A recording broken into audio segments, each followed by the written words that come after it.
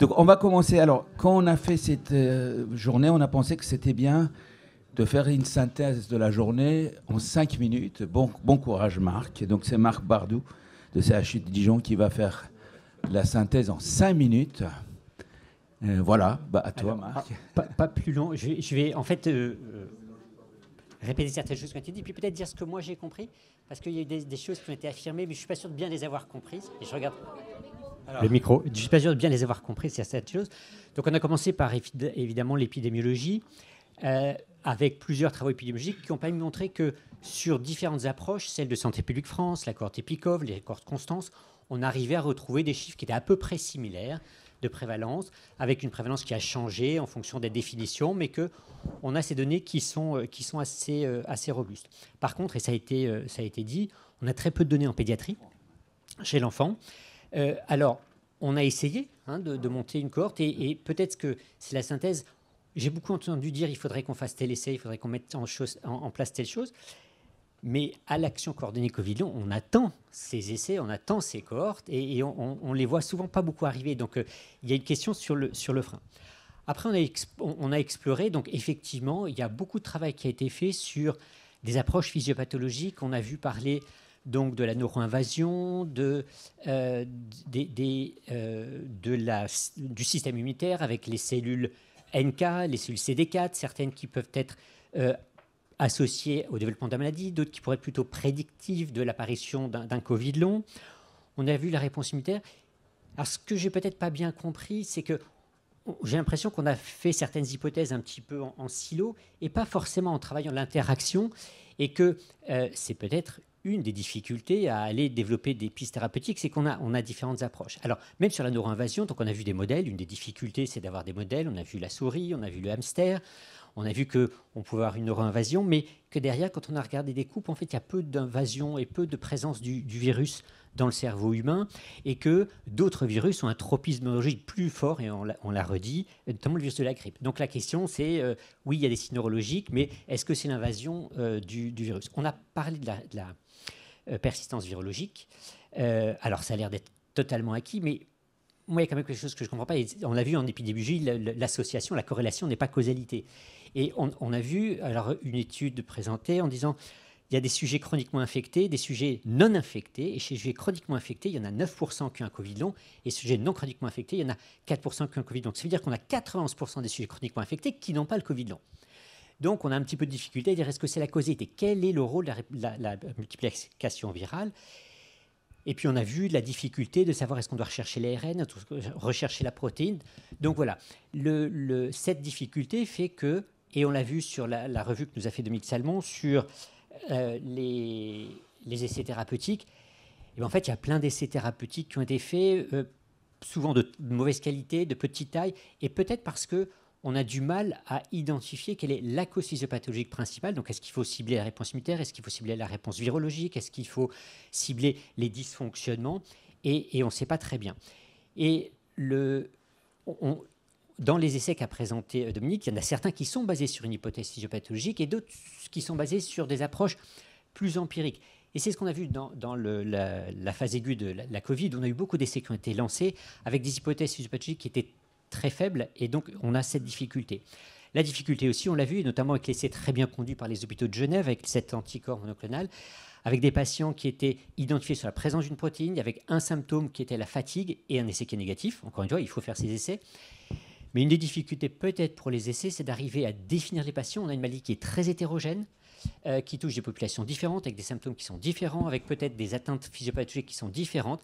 Et une des difficultés sera probablement peut-être d'arriver d'abord à définir les patients, à définir les symptômes et à choisir les critères, de, les, critères de jugement. Alors j'ai vu revenir des critères de jugement biologique. Oui, la biologie doit, doit, euh, doit, doit soutenir la recherche, mais pour les patients, ce qui les intéresse, c'est leurs symptômes. Et donc bien évidemment, ce qu'on va avoir, c'est des essais qui améliorent euh, les, symptômes. Alors on l'a vu pour la suite, beaucoup de choses. Le Covid est toujours présent. Euh, il y a toujours des malades aiguës, il y a toujours des malades chroniques, donc il faut probablement pouvoir euh, continuer euh, le suivi épidémiologique, le suivi épidémiologique des enfants et du Covid pédiatrique, et puis développer des essais, alors encore une fois, des essais de prévention, mais aussi des essais thérapeutiques. je ne vais pas parler à la place de Gilles Grave qui parlera après moi, mais on, attend ces essais. Et nous, Action coordonnée Covid avec Olivier Robineau, avec Henri Partouche, avec Yazdan, on attend ces essais, on organise des journées. Et c'est vrai qu'on est un petit peu désespéré de voir en fait arriver assez peu d'essais. Et je ne sais pas pourquoi. Euh, la recherche euh, euh, française est encore un petit peu frileuse là-dessus. Alors, Dominique a parlé d'une coordination internationale. Il faut déjà une coordination nationale aussi. Hein. On a vu, pendant la phase aiguë, on a lancé beaucoup d'essais. beaucoup d'essais qui, étaient concurrents et qui souvent ne sont pas allés à leur terme parce qu'il y avait trop d'essais en même temps. J'ai parlé un peu vite, hein. mais j'avais cinq minutes. donc, le, dernier point, parce que j'allais oublier quelque chose de super important, on l'a mentionné, on a besoin d'embarquer les patients dès le début euh, à la fois dans la sélection des quels, sont les symptômes sur lesquels on va travailler, quels sont euh, les designs d'essais qui sont qui sont Alors j'ai entendu hurler quand on a dit on pourrait faire des ponctions lombaires, indépendamment du fait de savoir est-ce qu'il y a du virus ou pas de virus dans le LCR. C'est pas à moi en tant que médecin de décider si on va si c'est acceptable de faire une ponction lombaire. Dire c'est au patient et au comité de protection des personnes. Si la ponction lombaire est justifiée, il ne faut pas l'interdire. Donc ce que je veux dire par là, c'est que on a vraiment besoin à la fois pour la construction des cohortes et pour la construction des essais cliniques. Et pour la question, si on a une préparation, un nouvel euh, euh, épisode pandémique, eh bien, probablement qu'il faudrait euh, embarquer beaucoup plus tôt les patients dans la construction de tous les pans de la recherche sur la prochaine pandémie. Merci. Merci beaucoup Marc d'avoir fait cet exercice difficile. Je, voulais juste dire un mot sur les cohortes et les essais cliniques. Euh, nous, bien sûr, on a un rôle pour essayer de, de générer ces réflexions, de pousser ce que tu as dit, Dominique. Sur la cohorte enfant, euh, on avait généré cette réflexion, on avait même appelé les investigateurs. J'avais contacté la société de pédiatrie à l'époque, on avait lancé, ils ont déposé un projet de cohorte après, il y a une évaluation. Ça veut dire que ce n'est pas parce qu'on demande aux gens de proposer des projets que les projets peuvent passer comme ça, hein, sans évaluation. Après, le projet n'est pas passé à deux reprises. J'étais insulté, pas par les associations, par les médecins, euh, parce que je leur avais demandé de proposer un projet. Après, on n'avait pas accepté le projet. Oui, mais c'est pas parce qu'on vous demande de proposer, parce que le sujet est important, on essaye d'accompagner, et c'est des sujets difficiles. Donc, ce que par rapport à ce qu'il a dit Marc, oui, on a un rôle pour essayer de promouvoir, de vous pousser, mais, il y a une évaluation. Hein. Ça, c'est important de savoir. sans évaluation, ça ne peut pas passer. On est prêt pour vous accompagner, mais après, il y a une, différence entre l'évaluation et l'animation qu'on fait. Donc ça, ça c'est vraiment important. Mais la pédiatrie, c'est un point où vraiment il faut qu'on s'améliore. On a parlé des essais cliniques.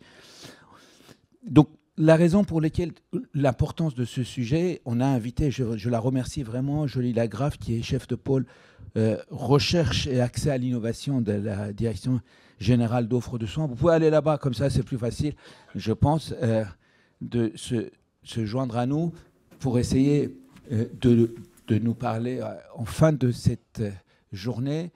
Contrairement à la recherche fondamentale pour laquelle, dans un an, on va avoir un problème de guichet, mais on est en train de travailler pour qu'il y ait une guichet.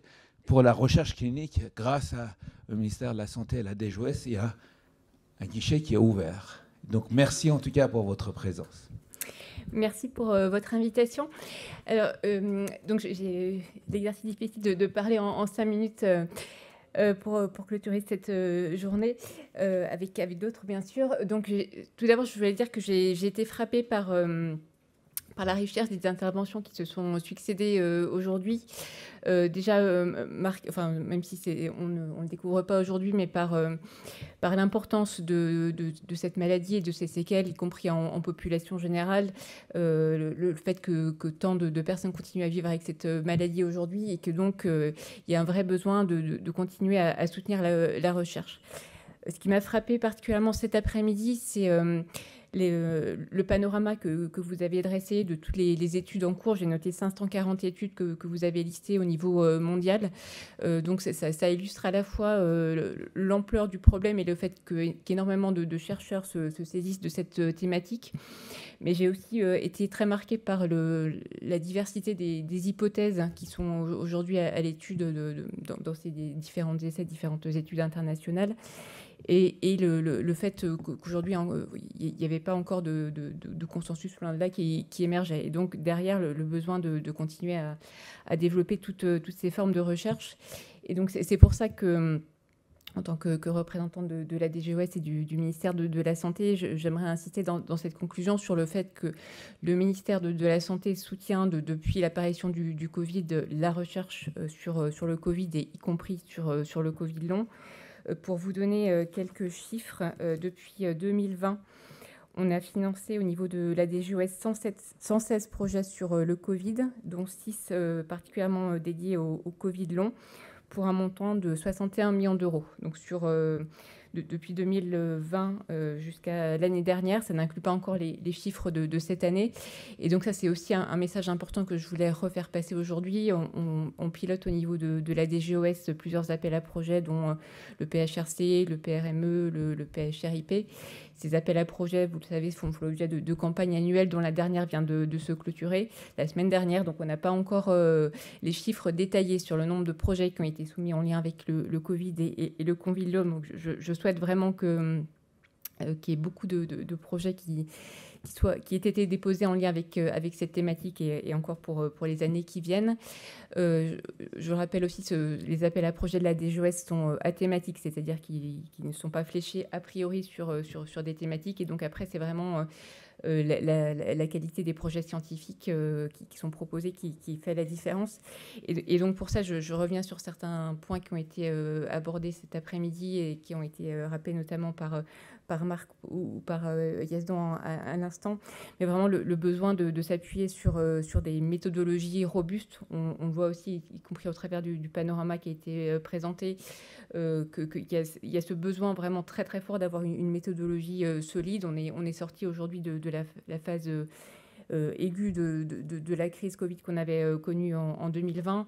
Et donc on a quelque part aussi plus, le temps de, se poser sur, sur sur le fait d'établir vraiment des, méthodologies robustes. Peut-être, j'ai enfin, noté aussi dans, dans, les interventions de cet après-midi la nécessité de travailler sur une harmonisation ou, au moins euh, sur le fait de, travailler encore davantage les, critères d'inclusion.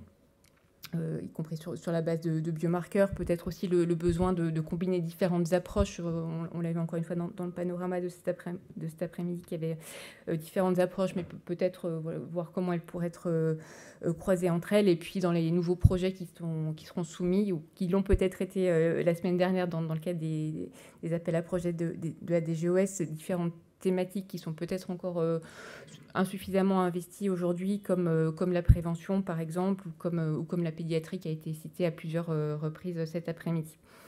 Et puis dans, les, points importants aussi, qui ne sont pas nouveaux, mais qui, qui, tiennent à, cœur de, la DGOS, il y a l'inclusion des patients. On voit que c'est des patients, dans le cadre du, Covid long particulièrement, qui vivent longtemps avec, cette maladie et qui deviennent experts de, euh, leur maladie. Donc euh, il y a vraiment une importance à, les, inclure. C'est déjà le cas, mais c'est vraiment un, point qui nous tient à cœur aussi euh, côté des GOS, qui continue à, l'être pour dans le cadre des projets de, recherche. Donc j'en termine là et en tout cas je, tiens à remercier tous les, chercheurs tout, qui s'impliquent au, quotidien dans, la recherche autour du, du Covid long ainsi que les, associations de patientes qui apportent euh, vraiment euh, beaucoup euh, aux patients et à la recherche également. Merci beaucoup et merci aussi pour votre présence aujourd'hui. C'est important pour nous et l'occasion pour moi aussi, parce qu'Alain est là, de remercier la présence de la DGS et aussi de la DGRI et le ministère de la Recherche qui était là ce matin. Alors pour maintenant, on est arrivé à la clôture. Donc, euh, tout d'abord, je demande à professeur Didier Samuel, donc euh, président directeur général de l'INSERM, euh, qui nous a accompagnés tout le long de ce processus. Et, son, ta présence aujourd'hui était importante. la NRS est mieux au sein de l'INSERM, donc le soutien de l'INSERM pour nous est très important pour mieux promouvoir la recherche. Merci Didier. Merci Yazdan tout d'abord, euh, merci pour votre présence aujourd'hui et puis euh, merci aussi euh, aux organisateurs pour cette journée sur le Covid long. Donc, maladie qui nécessite en effet une investigation plus poussée. Et donc, la NRS, comme tu l'as dit, donc, a investi 3 millions d'euros en 2021 sur 8 projets. En 2022, 19 projets de recherche ont été acceptés avec un financement de 7 millions d'euros qui est apporté par la NRS MIE, la FRM et les ministères de l'enseignement supérieur et de la recherche et également le ministère de la Santé. Et actuellement, il y a 9 projets cliniques, 10 projets de recherche fondamentale, 8 projets dans le domaine des sciences humaines et sociales. Alors, euh, le Covid long, euh, comme vous l'avez abordé aujourd'hui, est caractérisé par euh, la multiplicité de ses symptômes, parfois par sa sévérité, et ces grandes diversités de, des syndromes post-infectieux suggèrent qu'il y a non pas une, mais plusieurs pathologies regroupées sous ce terme de Covid long. Et euh, clairement, ça, interpelle plusieurs spécialités et pas une discipline en particulier. Alors, résoudre euh, la question du Covid long nécessite donc euh, d'avoir une organisation de la recherche, des programmes de recherche, que, ce dont vous avez discuté aujourd'hui, qui mêlent des chirurgiens fondamentaux, des virologues, des infectiologues et des cliniciens, et aussi des, associations de patients.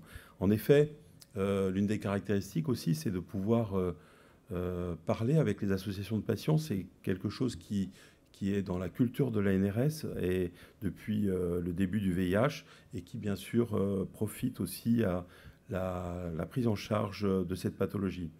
Alors ce lien donc entre chercheurs et associations est vraiment important, c'est une des clés, mais la recherche donc est, est, importante et je crois qu'il y a plusieurs aussi questions qui sont encore non résolues. Est-ce que cette pathologie est due à un désordre immunitaire euh, ou auto-immunitaire. Est-ce que euh, le virus, est-ce que c'est une toxicité directe du virus ou une conséquence de l'inflammation qui donne ces symptômes? Quel est Ça a été évoqué, quel est le lien entre la persistance du virus ou de fragments viraux et les symptômes?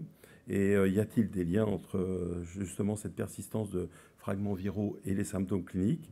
Les lésions sont-elles des lésions chroniques ou des lésions conséquences de l'affection aiguë. Euh, et dans, tous les cas, euh, je suis frappé par le fait que ça nécessite une investigation pluridisciplinaire. Alors je crois que vous n'avez pas répondu à toutes les questions aujourd'hui, euh, mais en recherche c'est souvent comme ça. Il, est, il, est, il, y a des pistes qui sont menées, il y a des, et ce qui est important aussi, c'est de reconnaître cette entité, même si elle est protéiforme, et de, parce qu'en effet, derrière, il y a des souffrances de patients qui doivent être écoutées, qui doivent être entendues, euh, qui doivent aussi euh, être comprises. Et donc, la recherche euh, que, mène l'INSERM et que mène la RSMIE doivent essayer de répondre à ces questions. Donc, pour moi, il était vraiment essentiel de tenir cette première journée dans ces locaux ici du PSC, de l'INSERM, de la NRS maladie infectieuse, aux côtés de l'HAS euh, et de Santé publique France qui sont euh, concernant euh, justement le Covid long. je pense que c'est un, premier, un premier lancement qui, en appelle d'autres et d'autres réflexions à la fois autour du Covid bien sûr, mais aussi autour de d'autres pathologies infectieuses qui peuvent donner des, symptômes post, post-infectieux. Et on sait maintenant aussi, et ça a été évoqué tout à l'heure, que euh, certains virus peuvent effectuer le rôle de trigger, d'activateur de maladies chroniques euh, inflammatoires ou de maladies chroniques auto-immunes. Et c'est quelque chose aussi sur lequel nous nous engageons. Euh, nous avons actuellement, nous travaillons sur un programme des maladies inflammatoires chroniques et auto-immunes. Et on sait que dans certains cas, le primum movin, ça a été un virus qui a activé des phénomènes qui se sont emballés ensuite.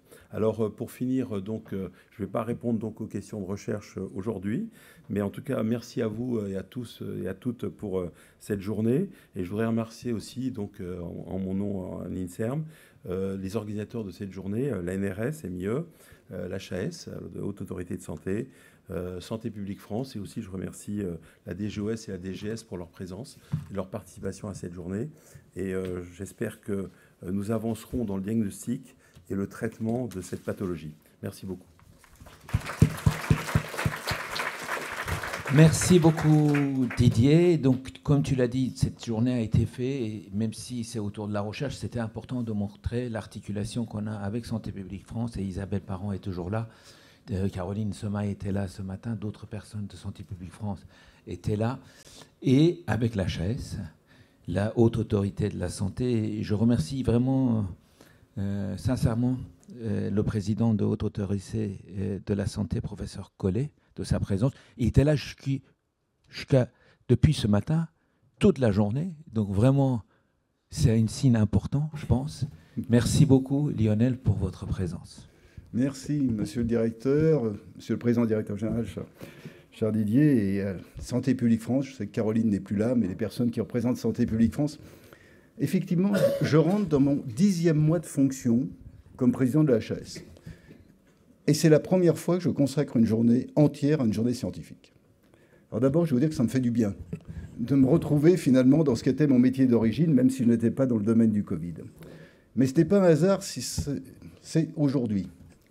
Parce que la question du Covid, long, du Covid long est à la fois une question fondamentale de santé publique. On a entendu ce que représentait le fardeau pour les patients qui sont exprimés ici même. On a entendu la quantité, 2 millions de personnes qu'il présente en France. C'est aussi une question majeure de recherche. Nous avons vu l'ensemble des interrogations qui restent, et je ne reviendrai pas sur ce qu'a dit M. Bardou, que ce soit sur la physiopathologie ou sur l'identification de la pathologie et sur le traitement, mais c'est aussi parce que c'est un sujet pour la HS. La Haute Autorité de Santé, vous le savez, vous ne le savez peut-être pas, elle a 20 ans cette année. Elle a été créée très spécifiquement par une loi qui a fait de cette HAS, je cite la loi, une autorité publique indépendante à caractère scientifique. Et tous les mots comptent. Elle est indépendante, c'est-à-dire qu'il n'y a pas de hiérarchie. Il ne nous empêche pas de dialoguer avec le ministère, toujours avec plaisir, que ce soit la DGOS, soit la DGS, mais nous sommes en situation d'indépendance. Si nous sommes à caractère scientifique, nous sommes la seule des huit autorité publique indépendante dans notre pays dans le domaine de la santé. Il n'y en a pas d'autres. Et donc, nous sommes également la seule des huit qui a cette appellation à caractère scientifique. C'est-à-dire que notre mission est une mission d'expertise scientifique. Nous, c'est la science, toute la science. Et même si nous sommes une autorité publique indépendante, l'argument d'autorité n'a pas sa place à la HAS. Sa place reste la science. Et quand on est indépendant, on l'est des pouvoirs publics, mais on l'est aussi des industriels, et on doit l'être aussi des associations et des sociétés savantes, afin d'être, je ne dirais pas au-dessus, mais ailleurs, pour pouvoir réunir et aboutir à des conclusions consensuelles. Nous avons trois grandes missions. L'évaluation, dans les trois cas, c'est pour évaluer la qualité du système de santé. Que ce soit l'évaluation des produits de santé, que ce soit l'évaluation des établissements, qu'ils soient de santé ou sociaux et médico-sociaux, ou encore qu'il s'agisse d'élaborer des recommandations de bonnes pratiques ou des parcours. Et c'est à ce titre-là que, sous l'égide du docteur Gavache, qui modérait la dernière séance, la HAS a depuis 2021, je dis bien 2021, déjà produit des réponses rapides pour la prise en charge du Covid long, 2021, avec 15 fiches derrière qui se déclinaient.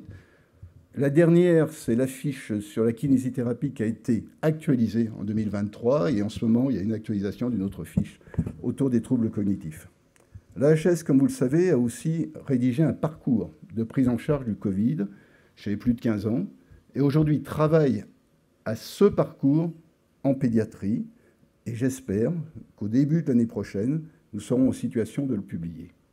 Donc l'AHS, elle est là avec vous, mais comme elle repose sur la science, et je reprendrai la formule qu'avait utilisée Mme Oustric en introduction ce matin, nous avons besoin de vous, les chercheurs, nous avons besoin de vous, tous les acteurs et les patients, car nous avons besoin d'essais cliniques, nous avons besoin de données rigoureuses, dans l'intérêt, bien évidemment, de la science, mais avant tout dans l'intérêt des patients.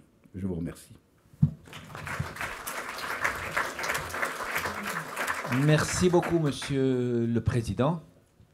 Euh, donc, euh, voilà la fin de la journée. J'espère, moi, l'idée de cette journée, c'est de nous donner un autre élan, euh, on va très rapidement se voir pour revenir sur cette journée et de donner cet élan-là. Ça, c'est notre rôle avec l'HAS et avec Santé publique France, bien sûr.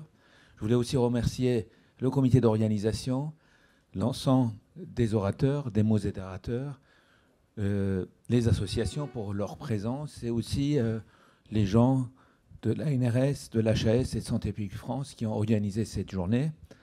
Euh, ça n'a pas été simple parce qu'on n'était pas toujours d'accord, mais je pense que ça fait partie euh, euh, de ce qu'on a à faire ensemble. Et le désaccord, parfois, c'est très bien pour avancer, à condition qu'on continue à se parler. Merci beaucoup.